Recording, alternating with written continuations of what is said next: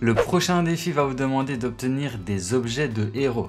Donc pour réaliser ce défi, vous avez plusieurs solutions.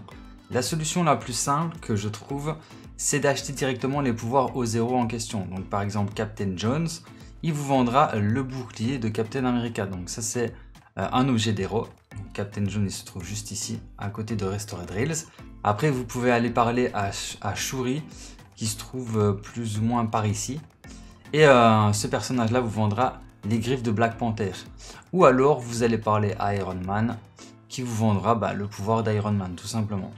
Donc quand vous avez ces trois pouvoirs là, logiquement vous aurez terminé le défi. Après ça peut fonctionner aussi si vous avez trois fois le, même bout, le même pouvoir. Par exemple si vous avez trois boucliers, par contre chaque personnage ne vend que le pouvoir une seule fois. Donc si vous voulez trouver les pouvoirs autrement, il va falloir fouiller soit des coffres de, de Stark Industries, voilà, ou alors vous pouvez fouiller aussi les coffres des Avengers. Donc pour vous aider à les trouver, je vous affiche une map avec tous les emplacements des coffres d'Avengers et de Stark Industries.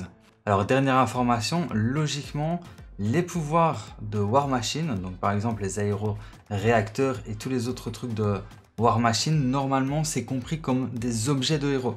Donc si vous en trouvez, normalement ça devrait valider le défi aussi.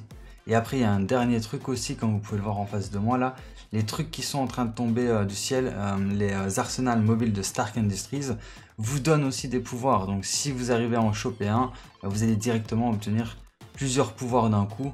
quand c'est Iron Man, vous en recevez deux d'un coup. Et quand c'est War Machine, donc l'autre tête, là vous en recevez trois d'un coup. Donc si vous arrivez à avoir le War Machine et que le pouvoir de War Machine sont comptabilisés comme un pouvoir de héros, bah là vous aurez terminé le défi carrément en une seule fois.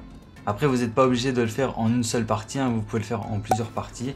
Mais dès que vous aurez réussi à obtenir trois objets les mêmes ou trois objets différents de héros en une ou plusieurs parties, bah là vous aurez terminé le défi et vous débloquerez les récompenses.